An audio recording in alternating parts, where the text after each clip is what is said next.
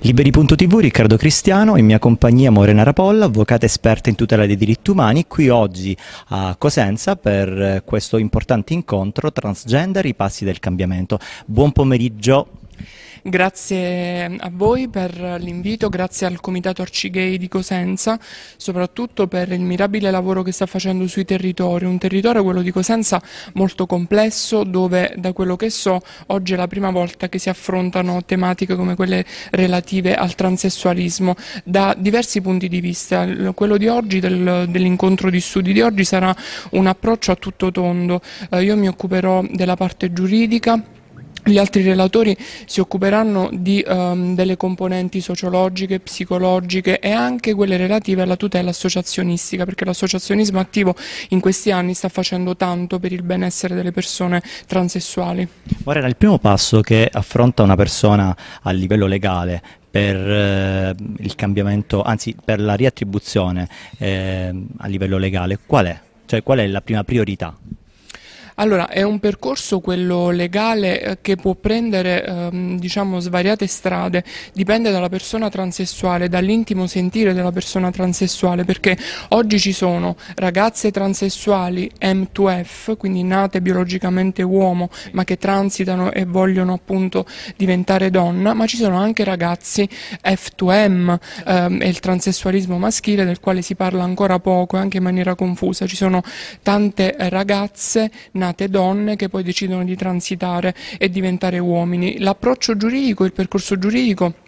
è abbastanza uh, complesso, dipende oggi grazie alla giurisprudenza, agli approdi che la giurisprudenza più illuminata è uh, pervenuta, grazie alla sentenza 15.138 del 2015 della Corte di Cassazione, oggi per fortuna uh, non si interpreta più in maniera restrittiva la legge sul cambio di sesso, la legge 164 dell'82, ma le persone transessuali che non avvertono nessuna conflittualità con i propri organi genitali di nascita possono tranquillamente direttamente a dire il giudice e ottenere la riattribuzione anagrafica degli atti di nascita, quindi proiettare la propria identità di genere d'elezione, quindi di scelta, nel sociale auspicando appunto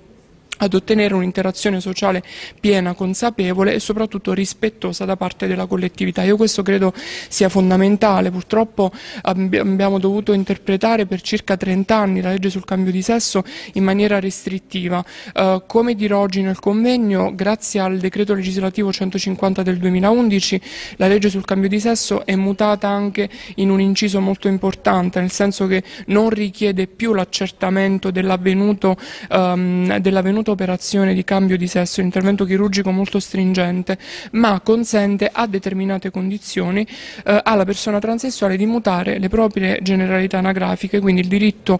pieno alla propria identità personale. L'identità personale, parlavi giustamente prima di diritti umani, la Corte europea dei diritti umani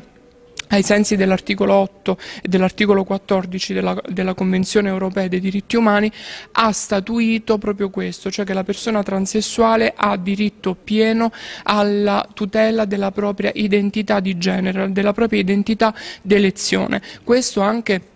in piena coerenza con il dettato costituzionale, l'articolo 32 della nostra Costituzione italiana tutela la salute, la salute da intendere però non semplicemente come eh, salute fisica ma anche come mh, diciamo, mh, tutte quelle componenti del benessere psicofisico della persona transessuale. La persona transessuale ha diritto di strutturare la propria salute e il proprio benessere psicofisico in primis riconoscendosi allo specchio in un, in un involucro corporeo finalmente coerente con il, la propria anima. Tra l'altro eh, quello che molti non sanno è che comunque chi è eh, una persona transgender affronta un percorso che è quello della vita reale, quindi come si fa, eh, io mi domando, ad affrontare un percorso se i documenti no, sono al maschile o al femminile in base appunto se, uno, se una persona è F2M o M2F e, e poi comunque perché ci deve essere l'obbligo dell'intervento? Cioè, non, non, penso che definisca diciamo, gli attributi, il fatto di essere uomo o donna, cioè il sentire è qualcosa di totalmente diverso. Assolutamente sì. Non è un caso che il concetto di identità di genere si compone a tre componenti, il corpo, l'autopercezione ed il ruolo sociale. Uh, è fondamentale l'autopercezione percezione della persona transessuale, se la persona transessuale non si percepisce in maniera coerente con il proprio sentire, sente proprio l'esigenza appunto di riportare ad armonia il proprio corpo. Il ruolo sociale di cui parlavi tu, la difficoltà che la persona transessuale incontra nell'interazione quotidiana, nella società, ma soprattutto perché oggi ancora è difficilissimo e molto complicato, c'è proprio uno stilicidio silenzioso dei, del diritto al lavoro delle persone transessuali. Purtroppo i dati eh, Eurobarometro ci consegna eh, la, mm, la, il transessualismo come una delle cause ancora stringenti come fattore di non integrazione, di non inclusione all'interno del mondo del lavoro, tanto che addirittura non si parla di mera discriminazione nei confronti delle persone transessuali per trovare lavoro, ma addirittura di vera e propria esclusione. Quindi la sensibilizzazione, eh, eventi come questi, il lavoro dei comitati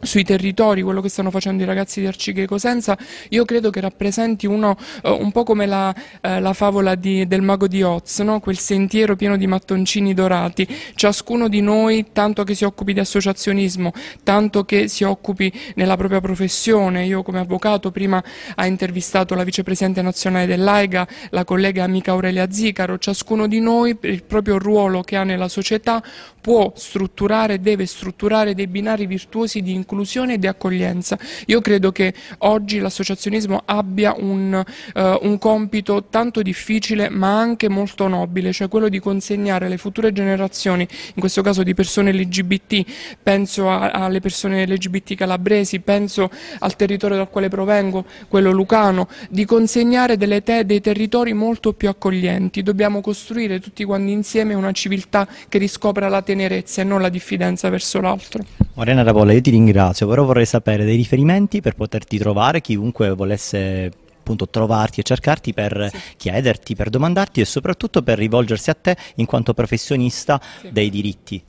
Assolutamente sì, allora potete trovarmi su Facebook, Morena Rapolla, eh, oppure potete eh, trovarmi anche mh, su, su, internet, basta inserire Morena Rapolla, io sono integrata all'interno dello studio legale Pipponzi, quindi lì ci sono mail riferimento e comunque la mia email è morenarapolla, tutto minuscolo, tutto attaccato, chiocciola, libero.it, per chiunque avesse bisogno appunto della, della tutela, per ehm, diciamo strutturare una tutela virtuosa dei propri diritti, io sono a vostra disposizione. Grazie ancora, Grazie. Liberi TV.